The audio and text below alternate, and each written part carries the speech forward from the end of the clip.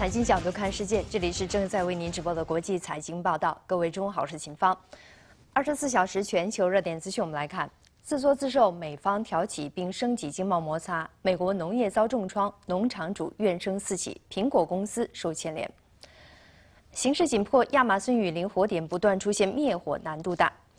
剑指太空，特朗普宣布正式成立太空司令部，太空军出炉在即。首先，我们来看一下，据美国国家飓风研究中心三十号的数据显示，飓风多里安目前已经增强为三级飓风，强度或将继续升级。而预计呢，在接下来的几天当中，多里安将到达巴哈马和美国的佛罗里达州，当地居民严阵以待，以应对即将到来的飓风。强度正在不断升级的飓风多里安预计将于当地时间三十一号到达巴哈马西北部。为了应对这次飓风侵袭，当地学校和政府办公室都已关闭。三十号，各个加油站和杂货店都排起了长队，罐头食品和瓶装水等物品很快就被采购一空。据了解，巴哈马已经连续三年遭受飓风袭击，且造成了大约八千万美元（约合五点七亿元人民币）的损失。同样在为这次飓风到来做应对准备的，还有美国佛罗里达州，全州六十七个县已经宣布进入紧急状态。佛州州长德桑蒂斯敦促居民尽早做好应对准备，准备好至少七天的食物、水和必备药品。当地加油站周围也排起了长队。为了应对即将来袭的飓风，当地也采取了一系列措施，包括取消部分商业航班，向居民发放沙土制作沙袋。相关机构还对佛罗里达肯尼迪航天中心的部分设施进行了预防性保护。据美国国家飓风研究中心预报说，多里安可能升级为四级飓风，预计九月二号抵达佛罗里达州东部沿海地区。接下来继续关注一下亚马逊雨林大火。三十号，世界卫生组织表示，大火容易引起包括呼吸系统疾病在内的健康危问题，威胁民众，尤其是儿童的健康。We have uh, some anecdotal reports of uh, increase of certain respiratory diseases in children, but nothing that we can report from a systematic uh, monitoring way. 世卫组织方面还表示，大火对人体的影响因人而异，但是遭受过剧烈大火地区的污染物颗粒将会留存很长时间。据巴西国家空间研究所二十七号发布的最新数据显示，目前在亚马孙雨林地区已勘测到七万两千多处着火点。今年亚马孙森林大火过火面积比去年同期增加了约百分之八十三，达到二零一零年以来的最高值。当地时间三十号，央视记者跟随当地民防部门人员一道前往巴西马托格罗索州火情较为严重的地区，一路上看到数十个着火点，救火难度非常大。在距离马托格罗索州首府库亚巴不到两小时车程的地带，就已经能看到多处浓烟以及大量被焚毁的枯树。看起来这个火已经是烧过一段时间了，所以在我左手边的一大片的地方都已经是烧焦的黑色。而现在看起来这个火势没有任何减小的趋势，而是正在向我的右边往前方移动。在我的身后还有一个更远的着火点。Nós podemos ver que toda essa área aqui que ainda não foi consumida pelo pelo incêndio, ela poderá ser consumida porque ao longe nós vemos um foco de calor que não está sendo combatido. E nesse momento a temperatura é muito alta, né? Nós temos um vento muito forte que vai propagar esse incêndio nessa vegetação de morro acima e ela vai descer e vai encontrar com esse novo incêndio, com esse incêndio que está acontecendo aqui. Então toda essa área, se não houver um combate agora lá, esse fogo vai se espalhar e vai pegar toda essa área e consumir toda essa área. 目前，巴西联邦政府和马托格罗索州政府已经派出多方力量支援救火行动，并且接受部分国际社会救援。但是在持续的干旱高温天气下，新的着火点不断出现，范围不断扩大，成为救火工作进展缓慢的主要原因之一。目前，在马托格罗索州参与灭火的巴西联邦军队正在密切监测火情，并且根据每天火势的变化，安排人手深入一线开展救火工作。从我身后大片的烟雾可以看出，这一片的起火的范围要更加的大。当我们到达这里的时候，我们发现其实当地的消防人员已经是深入到现场进行救火的工作。在现场，我们还看到至少有两辆飞机在参与作业。留守在这里的消防人员告诉我们说，因为这周边的地势险峻，而且天气风向变化的非常的快，他不建议我们再继续继续深入了。由此也可以看出，对于消防人员来说，这个救火的难度和挑战有多么大。再来关注一下中美经贸摩擦。路易斯安那州呢，位于美国南部，农业种植、水产养殖以及捕捞业都是其重要的支柱产业，也是这个州的重要出口产业。由于美国挑起并不断升级对中国的经贸摩擦，路易斯安那州的这些产业都遭受不小的负面影响。当地的农场主抱怨自己的日子越来越难过了。路易斯安那州农场主卡尔牛顿从事农业种植四十多年，他种植了包括小麦、玉米、水稻、棉花、甘蔗等各种农作物。农场的主要收入依靠农产品出口。尽管这两年收成不错，但由于经贸摩擦，卡尔牛顿过得并不舒心。If you're in the export market in agriculture, uh, you have to deal with geopolitical risk.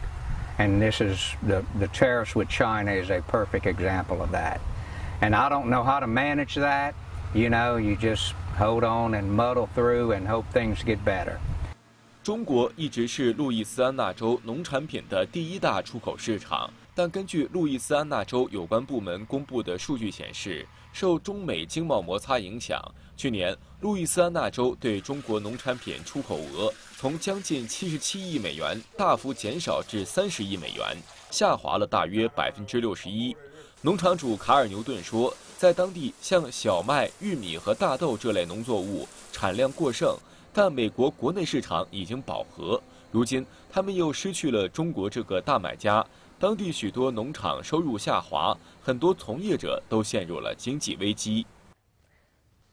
苹果公司二十九号证实，将在九月十号发布秋季新品。不过呢，苹果眼前面临的一大迫切问题，就是从九月一号开始，特朗普政府实施的新一轮关税政策，如果加征关税全部生效，苹果利润或至少缩水五十亿美元。当地时间二十九号，苹果公司发出邀请函，确认将在九月十号举行秋季新品发布会。外界预计，新的 iPhone 将正式亮相。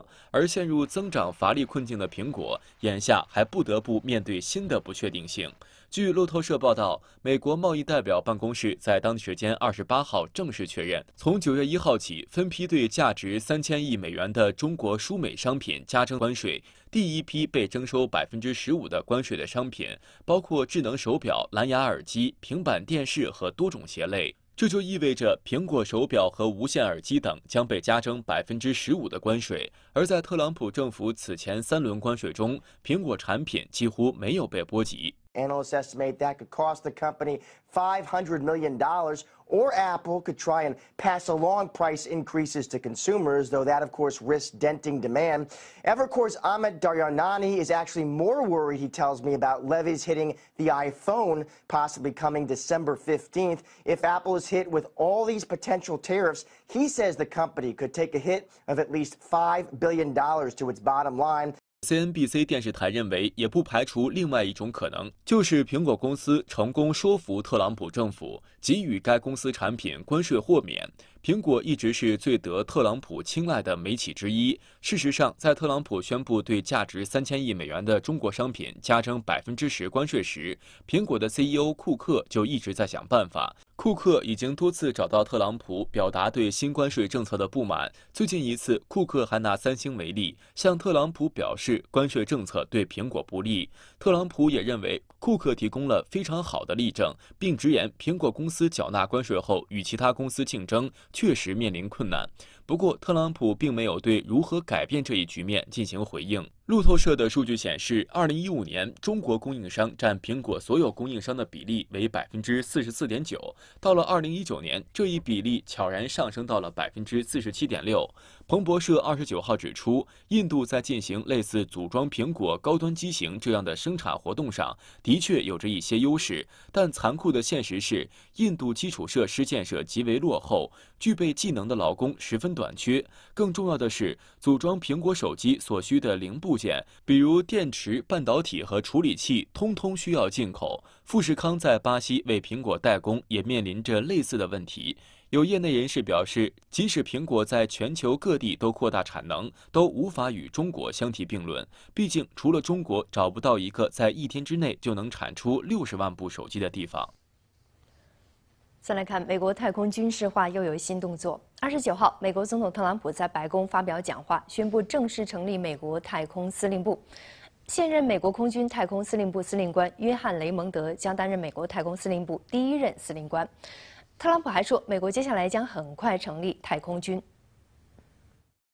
We will now treat space as an independent region overseen by a new, unified geographic combatant command. The establishment of the 11th Combatant Command is a landmark moment. Spacecom will soon be followed, very importantly, by the establishment of the United States Space Force as the sixth branch of the United States Armed Forces. 特朗普在当天的讲话中渲染外部威胁，说美国的对手已经把新科技武装到地球轨道上，目标直指美国的军用和民用卫星。他表示，建立太空司令部后，美国的太空主导地位将永远不会遭到质疑，也永远不会受到威胁。同一天，美国国防部长埃斯珀发表声明称，美军的工作必须聚焦于建立太空司令部，并为其投入人力和物力，保障美国的太空利益。这是太空司令部的使命。太空司令部是美国第十一个联合作战司令部，与美国战略司令部平级，可直接指挥各军种所属部队。通常，联合作战司令部直属于美国防部。尽管特朗普当天表示将很快成立太空军，但建立太空军必须得到国会批准。近年来，国会就美军是否应该重组以应对太空威胁分歧严重。一些国会议员和军方高层人士担忧，组建独立的太空军将浪费经费，加重美国经济负担。太空军如果成立，将成为美国海陆空军、海军陆战队和国民警卫队之外的第六大军种。而为了吸引更多的商务旅客，美国国家铁路客运公司正斥资二十亿美元，准备对车组进行升级改造，并且提高列车的运行速度。不过，美国老旧的基础设施却为新车的运行计划带来不少的障碍。对于究竟该由谁来出资进行基础设施升级，仍然存在争论。我们来看一下 CNBC 的报道。升级改造后，二十八列新型高速列车的运行速度将从现在的约每小时二百四十一公里提高到约每小时二百五十七公里。下一代列车目前正在由法国制造商阿尔斯通负责制造，工厂设在纽约州北部。整个升级计划将创造一千三百多个工作岗位。此外，得益于最新轻量技术的使用，新型列车效能将提高百分之二十，同时乘客容纳量也会提高百分之三十。In this new Alstom factory in Newcastle, Delaware, we're getting a look at the new Acela train, which comes into service in 2021. Amtrak rolling out features like updated Wi-Fi, USB ports, personal outlets, and an adjustable reading light. In every seat. 美国国家铁路客运公司表示，鉴于过去五年火车运输发生的几起致命事故，目前的目标是在解决乘坐安全问题的同时，也让火车相较于飞机、汽车等公共交通工具更具竞争优势。不过，有专家表示，美国高速铁路未来将面临基础设施老化的挑战。美国国家铁路客运公司一直在敦促白宫和国会议员为铁路、桥梁和隧道等基础设施建设批准更多联邦预算资金，但美国总统特朗普却回应称，各州应该用自己的预算来翻新这些基础设施。We will have the highest generation, the fifth generation of high-speed rail technology. Operating on 19th century infrastructure in some places. For instance, we have tunnels, uh, a tunnel in Baltimore that dates back to the late 1800s. And it's, it's safe, it's operable, but we have to operate at very slow speeds. And with no timeline on a U.S. infrastructure bill, experts say lawmakers need to find a solution to ensure customers remain safe and these new trains can operate smoothly. 东京奥组委与东京都政府本周正式决定，在明年奥运期间，东京首都高速路将根据时段增收过路费，以缓解拥堵。据悉，过路费增收措施将于明年七月二十号至八月十号、八月二十五号至九月六号的东京奥运会与残奥会召开期间实施，总计三十五天。增收时段与比赛时间重合，为早上六点至晚上十点。征收对象是在首都高速市内区间通行的私家车与商用轿车、中型以上的巴士和卡车、装有 ETC 系统的出租车以及其他提前登记的奥运相关车辆等，不属于加收对象。あの特に文句はないんですけど、僕はあまり使わなくなっちゃうかなというところですかね。 此外，所有装 ETC 的车辆在东京奥运会期间凌晨十二点至四点通过东京首都高速，可以享受过路费半价的优惠。这也将是日本国内高速公路首次正式采用弹性收费制度。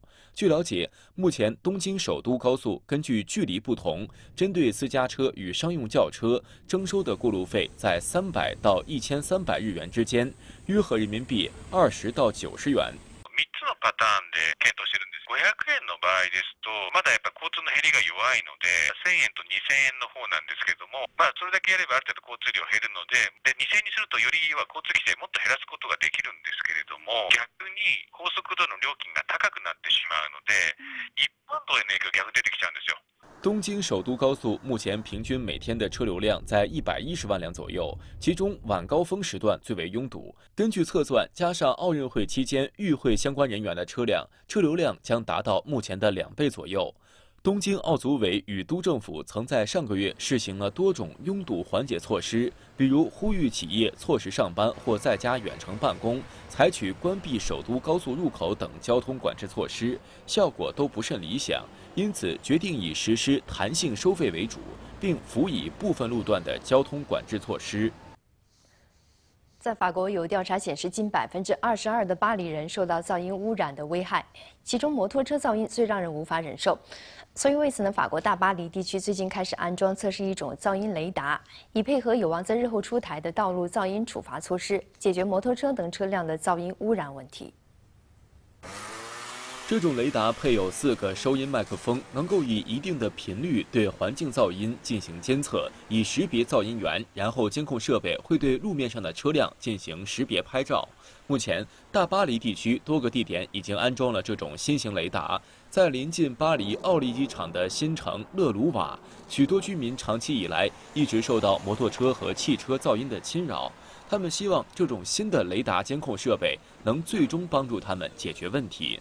Ce radar contient une sorte d'appareil photo qui, euh, euh, qui, enregistre euh, régulièrement des images. Mais l'idée, l'idée bien sûr, c'est d'avoir un couplage avec la vidéosurveillance que nous avons ici en ville qui nous permettra de savoir exactement qui fait, qui a fait, fait le bruit et d'autre part savoir exactement euh, euh, quelle est sa trajectoire. Voilà, donc on y sera parfaitement identifié en ayant fait tous les éléments, l'image et le son à un niveau très exact. Très très bien.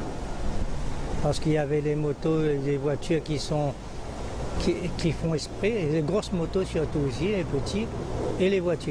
据报道，法国准备在今年秋季对相关法案进行投票，以希望批准这种噪音雷达设备的正式使用，以及针对噪音制造者的相关处罚办法。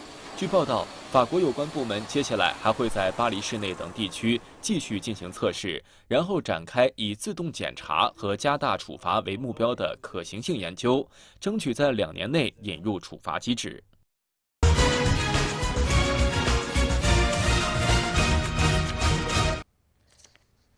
财经事件与他们相关，接下来关注一下过去一周的一些热点人物以及事件。不堪重负，印尼雅加达深陷城市危机，总统出行也为堵车发愁，迁都计划正式公布。再看矛盾升级，博索纳罗与马克龙赌气，拒绝七国集团灭火援助款。耸人听闻，被传要用核弹对抗飓风，特朗普网上辟谣称是假新闻。接下来我们看一下 CNBC 叶文多在新加坡带来的梳理。本周热点人物回顾，我们先来考大家一个地理问题：印度尼西亚的首都在哪里？如果你的答案是雅加达，那么可能啊要考虑更新一下知识点。印尼总统佐科维多多呢，在二十六号是正式对外发布迁都计划，打算把首都从雅加达迁到东加里曼丹省。作为现在的印尼首都和该国最大城市，雅加达正在面临日益严峻的城市危机，其所在岛上山火众多，地震常发不说。雅加达还是全球下沉速度最快的首都城市，也是世界人口密度最高的城市之一。在当地，常年的严重堵车，甚至连总统出行都会受到影响。两年前，佐科前去参加印尼阅兵典礼时就被堵在了路上，导致他不得不在炎热的天气中下车步行了两公里。这个遭遇让外界看了个笑话，或许也使得他痛定思痛，一定要将首都搬离雅加达。位于巴西境内的亚马孙大火危机迟迟难以解除，国际社会纷纷倾囊相助。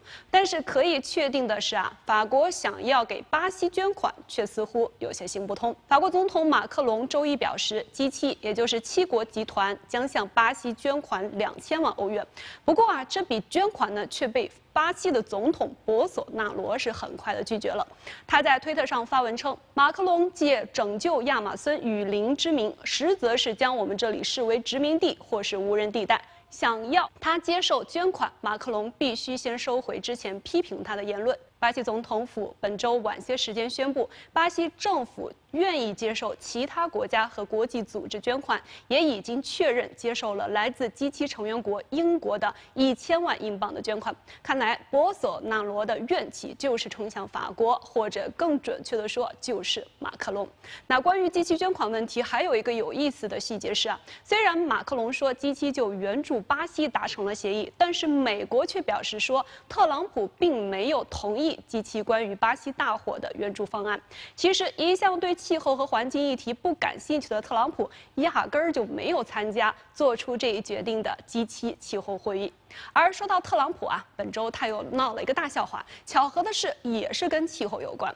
二十五号，有美国媒体报道说，特朗普曾在听取一次飓风简报时，向在场官员询问说，是不是可以在飓风登陆前就使用核弹将其轰散，并且这还不是他第一次提出这类建议。这篇报道引发了不少的关注，当然更多的是嘲笑。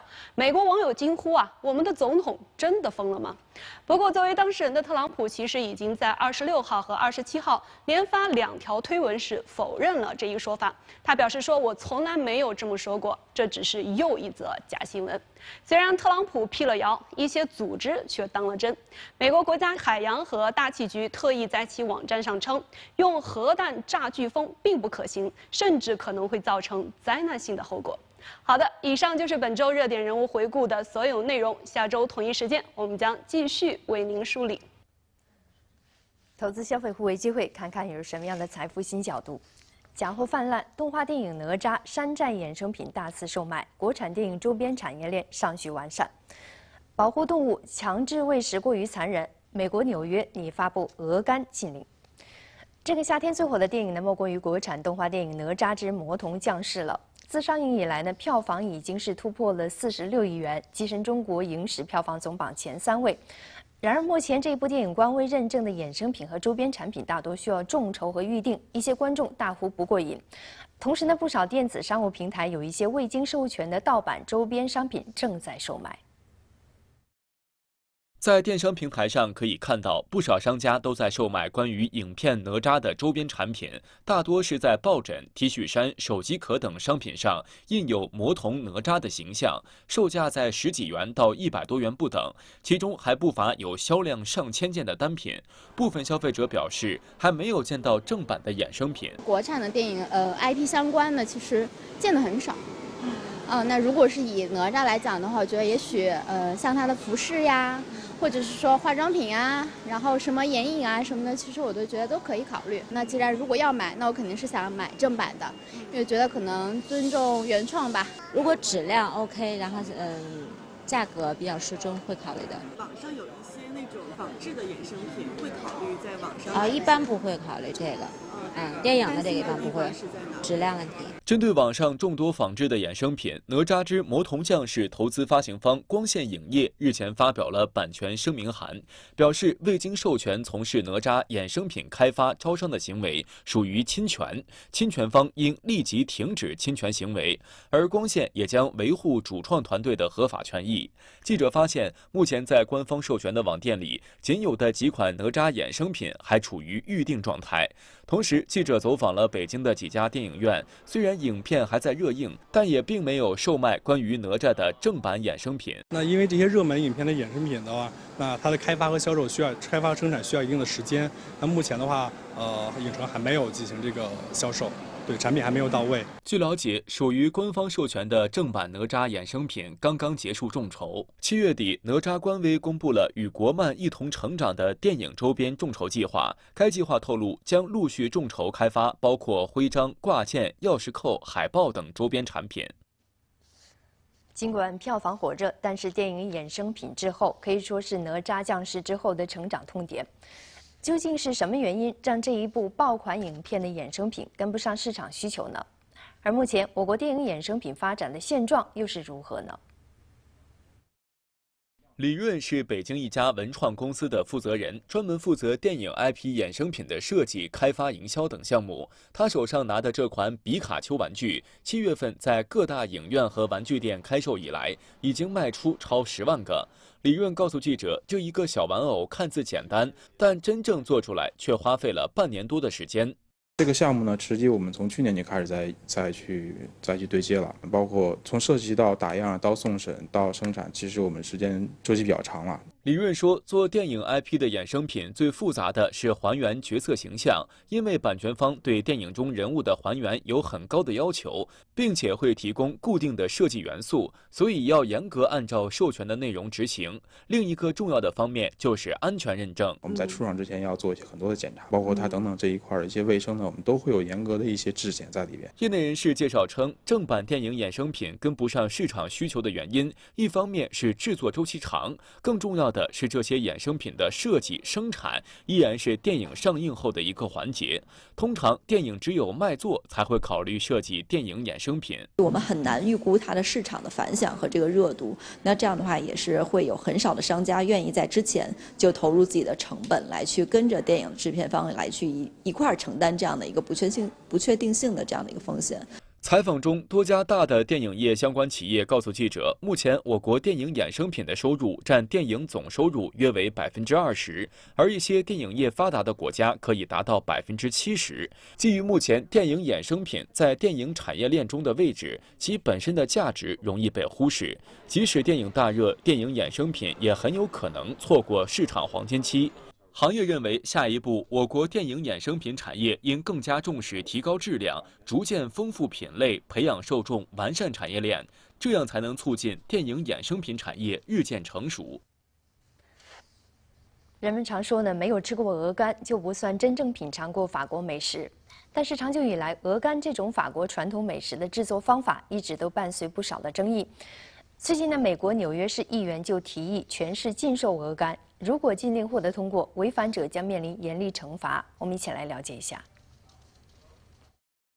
欧洲人将鹅肝与鱼子酱、松露并列为世界三大珍馐，但批评者称其养成及制作的过程非常残忍。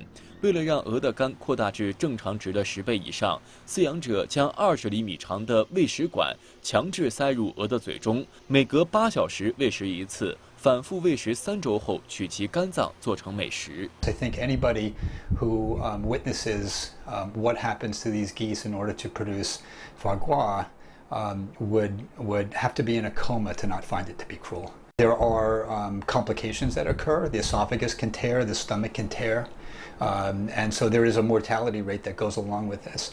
美联社报道说，纽约市议员提议禁止纽约所有餐厅及零售商出售鹅肝。该法案将在数月内表决，若通过，违反者将面临最高一千美元罚款或最高一年有期徒刑。This is what the definition of animal cruelty is about. Foie gras is the diseased and enlarged liver of a duck or goose produced through force feeding. 对此，部分鹅肝餐厅经营者持反对意见。 A ban on foie gras sales in New York. could damage the foie gras farming community to the point that foie gras wouldn't be available anywhere in the United States. 若议案通过，纽约市将成为继加利福尼亚州之后，美国第二个禁止出售鹅肝的地区。芝加哥曾于2006年通过禁止出售鹅肝的法律，但两年后被推翻。在美国之外，英国、以色列、印度等国家已禁止生产鹅肝。